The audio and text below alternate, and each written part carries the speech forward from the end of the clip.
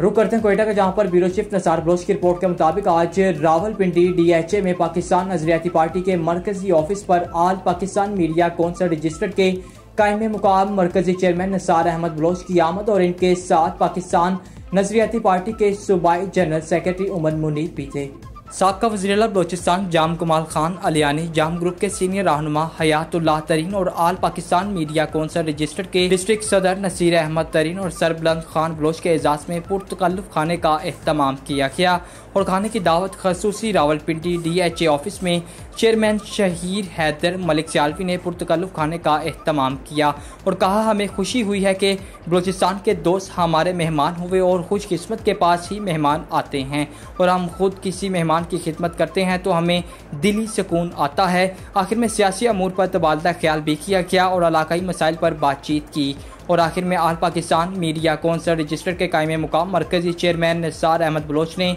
इनके दोस्तों का शुक्रिया अदा किया। इस मसरूफ दौर में इन्होंने हमें अपना कीमती टाइम दिया।